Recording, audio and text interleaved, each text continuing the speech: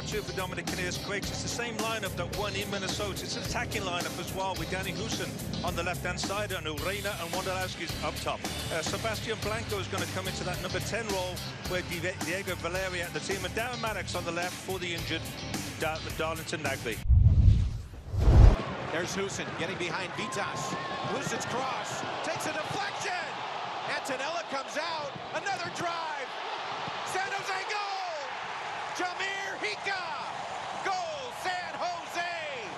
Earthquakes on top. They will not give up. Each rebound, there was somebody there attacking that ball. And as the ball came back, you can see Jahmir Hyka's the right man at the right time in the right place to put the Quakes ahead 1-0. Rangers drive. And the Quakes are peppering Jeff Attinella and that Portland goal here early. Shooting on side at the moment, the Earthquakes. First it was Hoesen, this time Marco Urena Good strike as well. That wasn't too far away. Because I think if you scout the Earthquakes, you're probably going to look at the outside play. Hoesen again! And Attinella cannot get comfortable back there as the Quakes time and time again. Hoesen seems to just be warming up. They feel the Earthquakes are going to try and attack down the wings, which is what they normally do with Cato or Lima. And now the Quakes are getting these balls 25 out, and they're taking these shots, especially Danny Hoesen. Hyka. Took a hot Victor Bernardez. Going back to that corner kick and the way it broke, broke for Victor Bernardez. I think 10 out of 10 for the uh, Pele impersonation on that one. That was pretty good by Big Victor.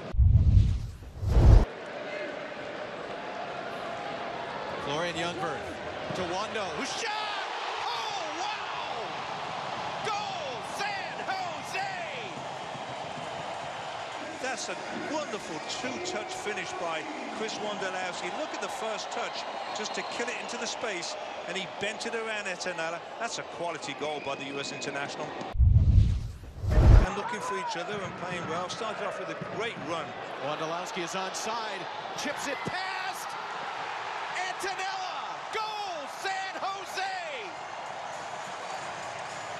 See being played on side by Alvas Powell on the far side. That's sloppy defensively by the Timbers. But when the chance came to Wondolowski, he had so much to do.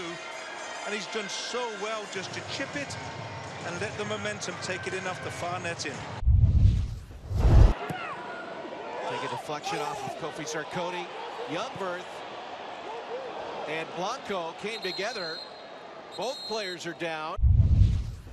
Back by Chara. He's got Arboleda to his left. Feeds the youngster. There's the shot. Bingham covering that near post. Able to block that one aside. Dominic Kinnear uses the players and gets him out of the game. Resting for the next one, potentially. I know it's only 10 minutes. There's a shot and a save by the left foot of David Bingham. If you want a shutout, you've got to come up big. This is what he did on this one. That was the one that actually went under his body, but the one I thought earlier from Arboleda was a better save at the near post. Winning most of their games 1-0, and this year they're losing all their games 1-0. It's just a... Bingham got run into, lost control, then it was cleared off the line. Cato play again, but Jungwirth, the way he looks, he just intercepts the pass, then finds the feet of one of his players. He does it time and time again. And that that will do it as the Quakes started off with a Jahmir Hyka goal in the eighth minute and come away with a 3-0 victory.